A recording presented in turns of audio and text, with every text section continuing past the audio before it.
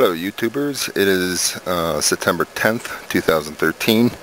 These are those um, tater buckets that Walmart's are selling that you're supposed to be able to pull them apart and pick them as they're still growing.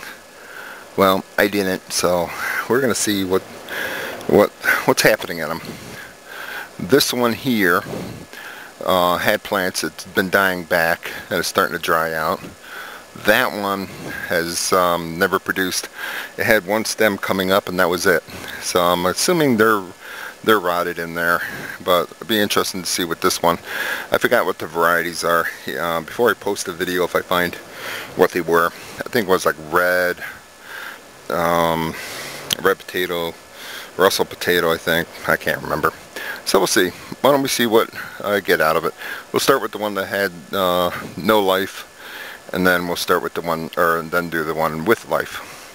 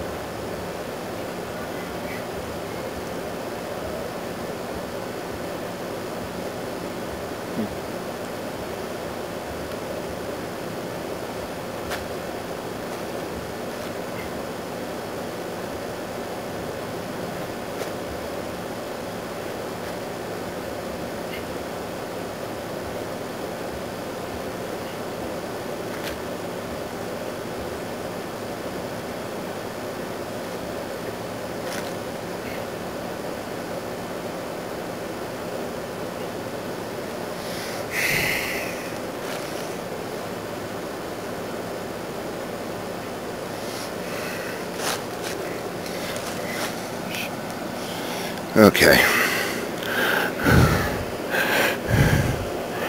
That's it. I can safely say uh, they rot it and they smell. So, let's see what this other one brings.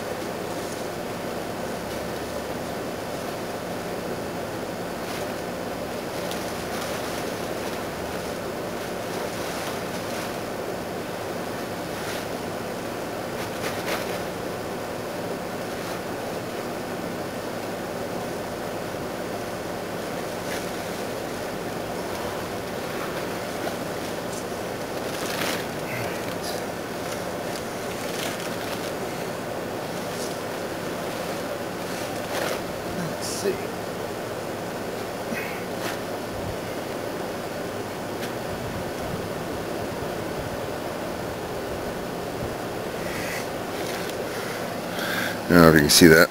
Nice little slug. Looks like slug eggs. See if I can... Right in there. That's not going to be a good sign.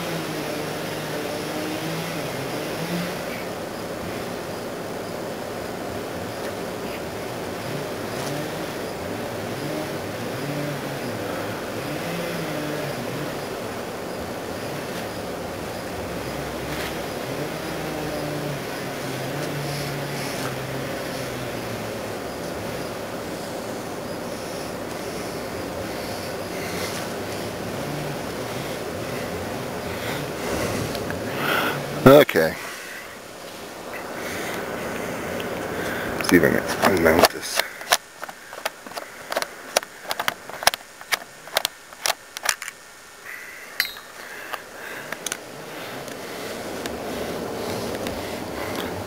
So that's it from the second one.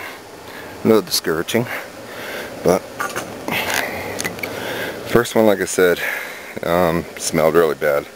The three just rotted. This one I was hoping for a little more, but we'll see. Well, we still have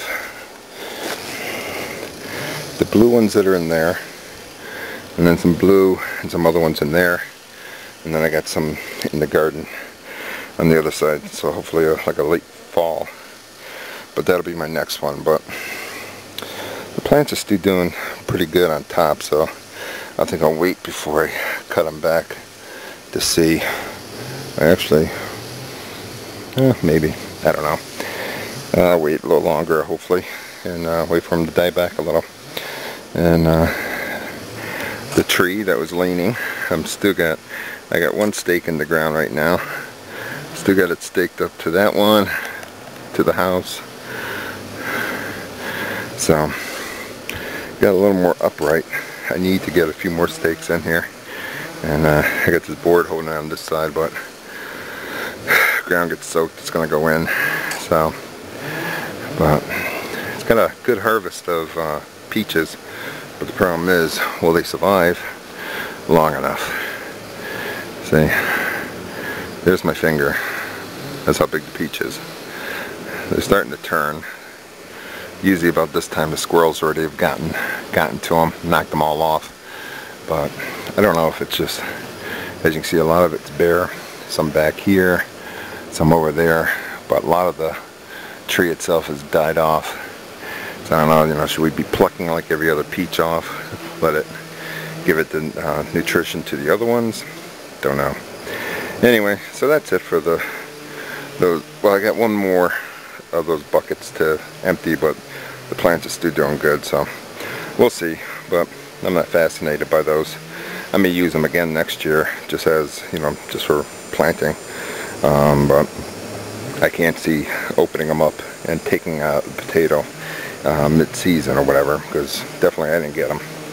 Anyway, that's it for the potato harvest, um, part one. Uh, and uh, we'll talk to you soon. Thanks for watching.